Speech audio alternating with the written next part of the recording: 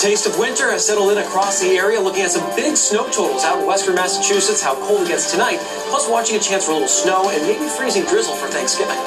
Plus, a lot of people rely on MEFA to help students pay for college. But hundreds have complained about the company that handles the billing. Today at 5, the changes that are coming after the I-Team started asking questions. And the streets where Boston is going to see its first driverless cars tonight on WBZ News at 5.